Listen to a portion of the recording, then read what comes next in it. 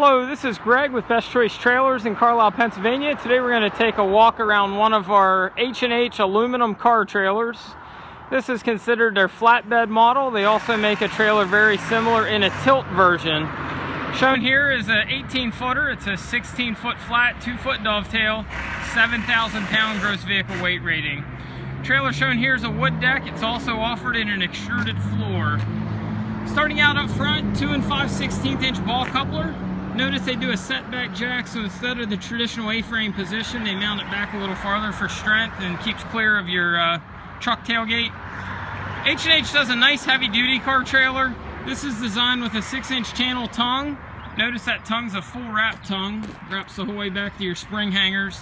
And it's also a 6-inch channel mainframe. This is not necessarily going to be your lightest weight car trailer out there. But if you're the type of guy that wants to be able to load a little bit more than a car once in a while, or even a decent sized car, this might be a good fit for you. It's also offered in a 10,000 and a 12 and 14,000 pound weight rating.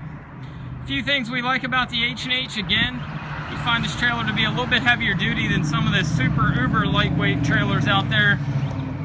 They put a few gussets on, notice that one up front. Comes standard with your headache rack going across the front. Notice the stake pockets and rub rail. They do the bullet LED lights standard. You notice another gusset as you head back the tongue. I really like the way they do their removable fenders. As you'll see there, removable fenders on both sides are standard. Uh, their latching system's pretty, pretty nice. Simply got a lockable pin, lift it up, draws it down really tight, doesn't get much simpler, it's a toolless removal. Aluminum wheels and radial tires are standard. Does also have your Easy Lube hubs. It's got the H&H embossed fenders. It's got your handles for easy uh, removal. It's got your side load ramp. They also do a little bit heavier duty ramp uh, than some of the ones out there. One of the things I personally like about this H&H is the um, thin strip LEDs. They're a nice looking tail light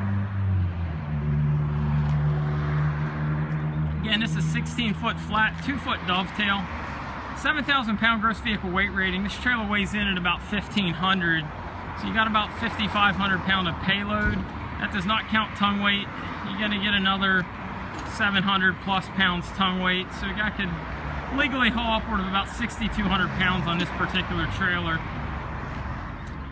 Again, this is an H&H, it's an HDA model trailer. It does come in other sizes and weight ratings, and also H&H does a lot of these units in tilt trailers.